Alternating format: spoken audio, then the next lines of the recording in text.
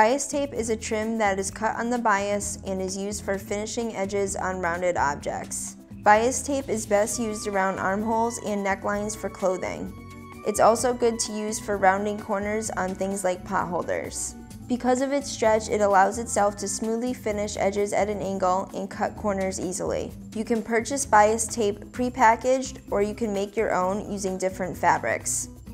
There is a single fold bias tape and a double fold bias tape. Single fold is flat with only one edge folded over on each side. Double fold bias tape has been folded over twice on each side and folded in the center. One side is slightly bigger than the other, making it easier to sew. Double fold bias tape is used more for large projects like quilts and blankets.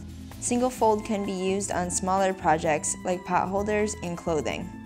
Bias tape makers come in two sizes, half inch and one inch. The one inch is the most popular and is the one that I'll be using. Bias tape makers help pull the fabric through while folding the edges over and allowing you to iron and pull as you go. The bias is located at a 45 degree angle between the selvage and the width of the fabric.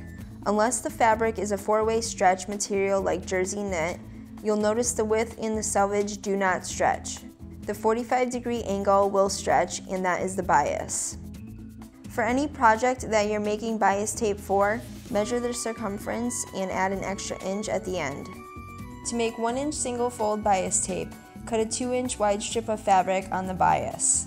Insert the strip of fabric into the 1 inch bias tape maker. Use a seam ripper to help guide the fabric through.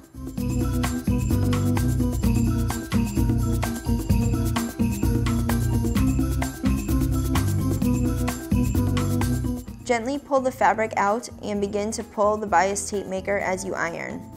Do this until you've reached the end.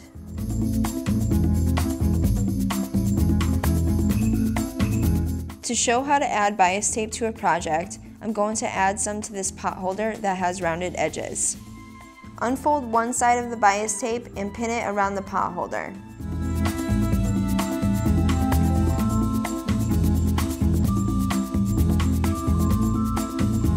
Start a half inch in and stitch on the crease of the fold until you've reached the end. Backstitch at the beginning and the end. Stitch the ends together and fold the bias tape over to the other side and pin.